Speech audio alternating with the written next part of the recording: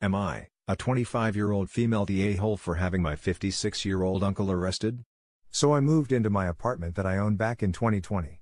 I keep to a very minimalist lifestyle, so I don't actually own very much at all, but what I do own, I like it to be a good investment for the long run. That's relevant for later.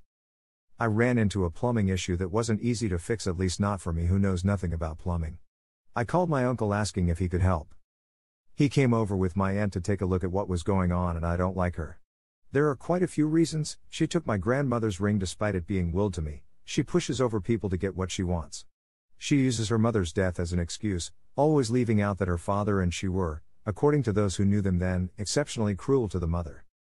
My uncle used to be really great until she came along, now he bends to her every whim. I digress. She comes and complains that it looks like I am dirt poor. That I have minimal furnishings and that it looks uptight. I say I'd rather make memories than have stuff and leave it there. Then she notices my silver box I keep my sterling flatware in. Now, this is just me, I spent a good year or so saving money to buy nice flatware. My reasoning was it will grow in value, I can pass it along to my children and it will, or can, last a long time. She starts asking me what's in it and I brush her off. She keeps on, as she does, and I say it's heirlooms not true but still. She keeps on and on and I break saying it's flatware. She then asks me how many place settings and I say I can't remember.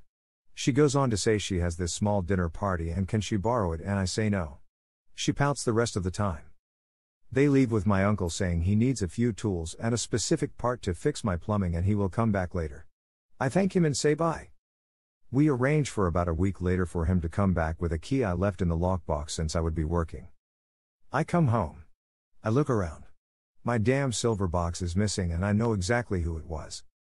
I call the police, I give all the information and show them photos I took for insurance. Long story short, my box was in their dining room when they showed up and my uncle is arrested for theft. My aunt keeps calling me, screeching at me that I am horrible for this and going to hell for giving him a criminal record. I say she should have thought about that before she made him do that, not being able to take no as an answer.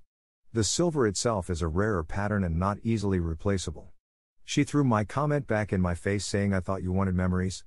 It's just stuff. I hung up on her. Here's where I think I am the ass my uncle only did it because of my aunt, in my opinion. So I am effectively punishing someone who wouldn't have done it without the influence.